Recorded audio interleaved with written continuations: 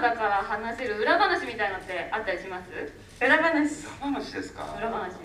そうですね。僕ははい。まさに今そうなんですけどお？今まで麻雀ものってほとんどやらないようにしてきたんですけど、はい。これを作品やってからめっちゃ麻雀の調子が悪くなったんでもうこれはもうおばかみーこの呪いってことにしてす。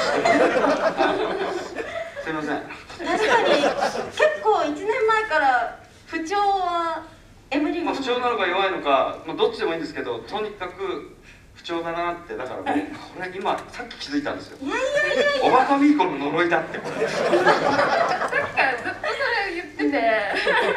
どうし人のせいにするにはそれしかない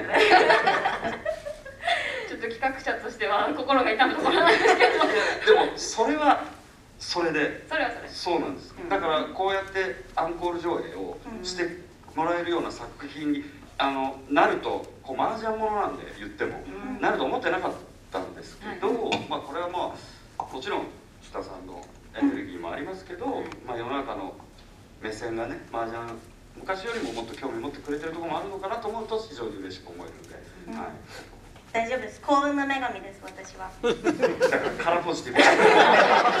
まだまだこれからです。応援してます